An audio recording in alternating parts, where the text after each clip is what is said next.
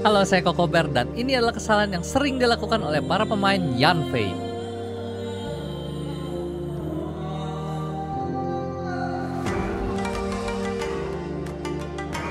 Kesalahan pertama adalah kalian keseringan normal attack. Seringkali Koko Bear perhatikan para pemain Yanfei hanya menggunakan normal attack-nya tanpa menggunakan charge attack-nya dalam menyerang musuh. Padahal kekuatan utama Yanfei terletak pada charge attack-nya. Tapi tunggu dulu bos, jangan asal sembarang charge attack aja. Untuk memaksimalkan charge attack ini kalian harus melakukan combo 3 normal attack terlebih dahulu baru kalian melancarkan charge attack-nya agar damage-nya ini maksimal. Karena sumber utama dari damage-nya ini adalah charge attack, maka prioritas talent yang harus dinaikkan adalah normal attack terlebih dahulu, baru burst, lalu terakhir skill.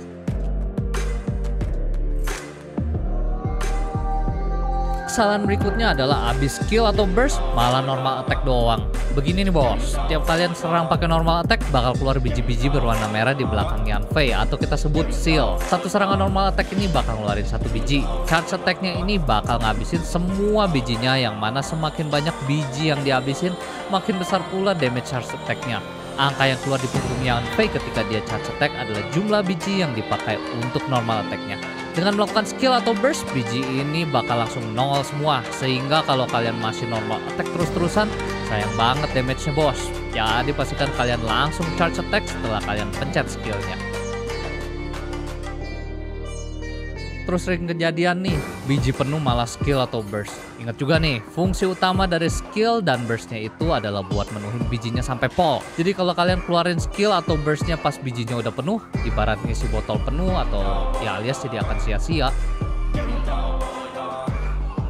Nah, yang sering terjadi nih di para pemain pemula, abis burst malah ganti karakter. Padahal setelah burst, selain damage charge attack kalian ini ditingkatkan, biji ini langsung penuh dan setiap kalian abisin bijinya lewat charge attack, biji ini akan auto ngisi satu biji setiap satu detik sehingga kalian bisa spam charge attacknya ini untuk kasih damage maksimal. Eits, tapi jangan asal-asal juga bos, ada kombonya juga. Combo yang mantap adalah setelah kalian burst adalah kalian charge attack lalu normal attack satu kali dan dilakukan berulang-ulang. Tapi perlu diingat, kesalahan paling fatalnya adalah kalian langsung ganti karakter setelah kalian burst Yanfei. Dengan kalian ganti karakter di saat burstnya aktif, maka kondisi burstnya ini akan langsung mati.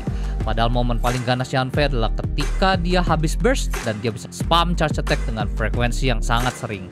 Taman untuk kalian yang hanya menggunakan Yanfei sebagai support shield saja karena sudah membuka C4-nya, tetap usahakan kalian charge satu kali dulu baru kalian ganti dengan DPS utama kalian. Lumayan, bisa sentil musuh dikit pakai charge attack.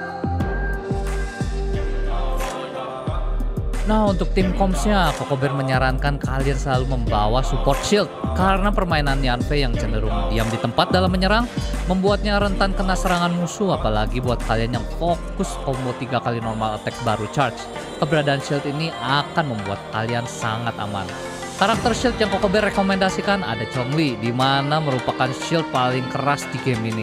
Selain paling keras, shield Chongli ini juga bisa selalu aktif karena cooldown skill yang cepat sehingga bisa kalian skill ulang sebelum shieldnya ini habis. Untuk karakter free to play-nya, Kokobir rekomendasikan Diona. Selain bisa bantu kasih shield, burst-nya juga bisa memberikan heal yang cukup lumayan. Apalagi kalau kalian punya Diona C6. Burst-nya ini bisa menaikkan elemental mastery Yanfei sehingga damage elemental reaction seperti melt atau vaporize akan meningkat. Tapi nggak masalah juga kalau kalian hanya memiliki Diona C0. Lalu untuk karakter off-field DPS favorit Kokobir yang pertama adalah Rosaria yang bisa menaikkan critical rate satu tim melalui burst-nya.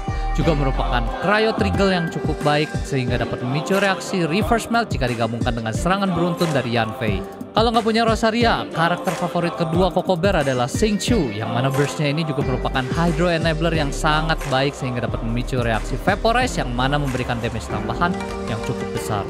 Tinggal role support satu laginya, Kokobir paling suka Bennett.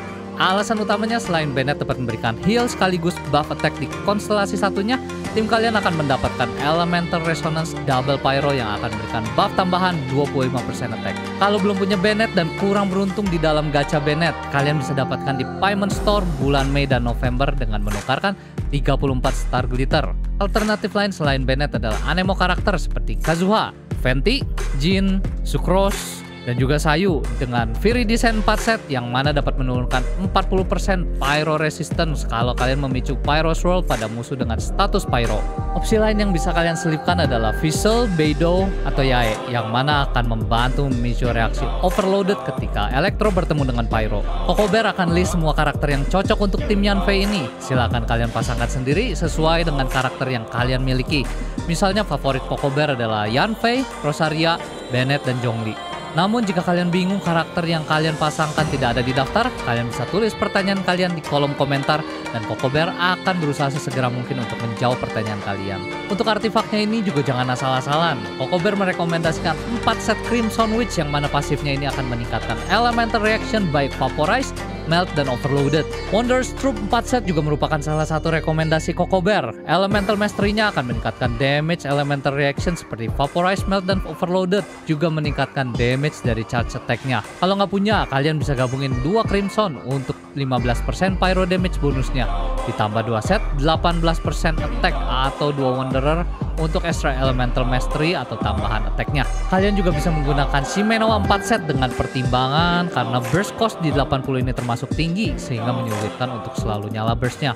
Maka pasifnya ini akan membuat damage charge attack-nya meningkat lumayan signifikan dalam kondisi burst tidak menyala. Untuk stat utama, Kokobe rekomendasikan Sense di attack percent atau elemental mastery, Goblet Pyro, dan Circle Critical dengan substat rekomendasi yang pertama adalah Critical Damage atau Critical Range, kedua Attack Percent, ketiga Energi Recharge, tapi kalau untuk Shimenawa energi recharge nggak usah. Dan keempat Elemental Mastery, baru kelima Attack. Untuk weaponnya akan Koko berlis di layar ya. Urutan kekuatannya ini tanpa kekuatan buff Bennett, Noblesse 4 set atau Trailing Tales Dragon Slayer. Tapi jika kalian selalu membawa Bennett dengan Noblesse atau karakter dengan Trailing Tales Dragon Slayer, maka urutannya akan berubah sebagai berikut. Khusus untuk yang berfokus hanya menggunakan Yanfei konstelasi 4 ini sebagai support shield, maka untuk artefaknya Kokober temukan artefak-artefak ini yang cocok untuk Yanfei C4 seperti dua emblem untuk energi recharge-nya supaya cepat mengisi burst-nya, ditambah dua tenacity untuk tambahan HP-nya supaya shield-nya ini menjadi tebal. Alternatif lainnya kalian bisa menggunakan Noblesse 4 set supaya kalian bisa meningkatkan 20% attack ke dalam satu party.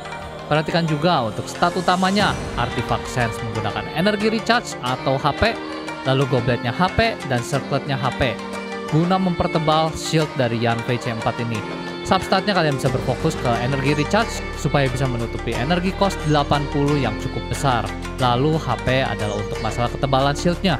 Untuk talentnya, kalian bisa tidak naikkan sama sekali semuanya karena tidak akan mempengaruhi ketebalan shieldnya.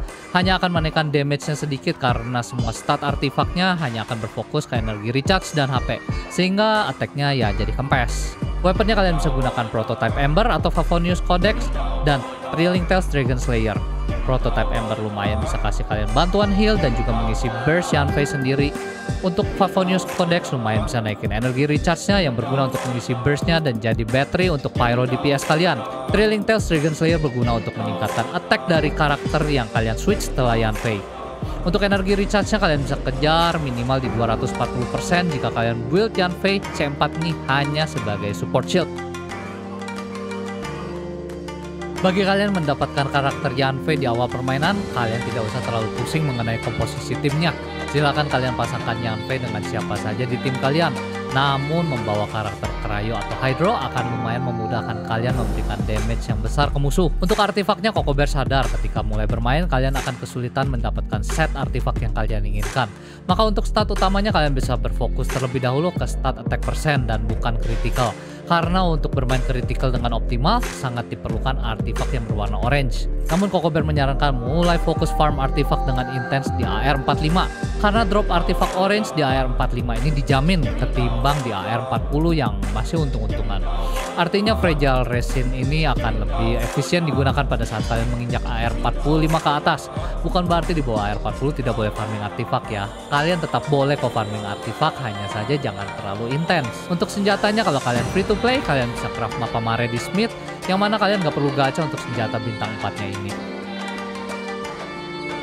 Yanfei adalah karakter pyro DPS utama yang kekuatannya tidak bisa kalian sepelekan. Namun untuk memaksimalkan Yanfei kalian harus memainkannya dengan cara yang benar karena sedikit kompleks untuk mengerti mekaniknya. Tapi Koko Bear berharap kalian bisa mengerti setelah menonton video ini. Like, komen, dan subscribe. Saya Koko Bear. Terima kasih sudah menonton video ini. Sampai jumpa di video berikutnya.